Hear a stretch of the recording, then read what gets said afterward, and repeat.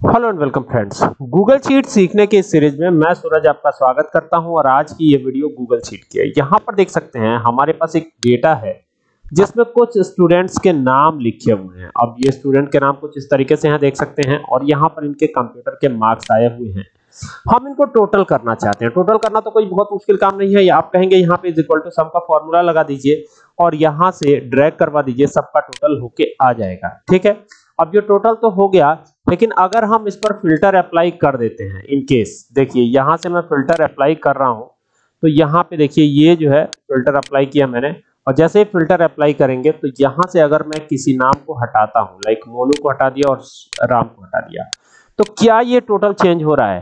Total नहीं change हो रहा है। देख सकते हैं कि नहीं? यहाँ पे टोटल चेंज हो रहा है। 380 ही बना हुआ है।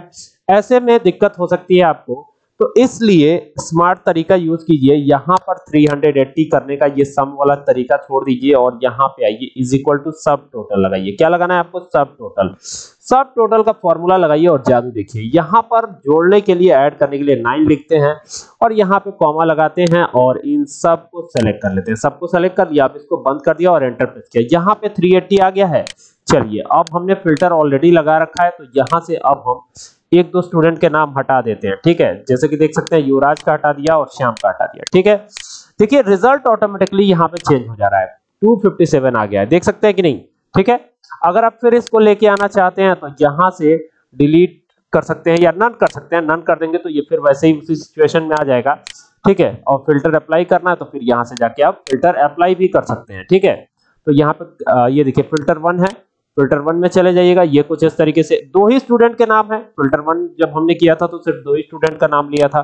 तो ये देखिए सिर्फ़ दो ही स्टूडेंट के रिकॉर्ड यानी इनके टोटल होके आ रहे हैं। ठीक है?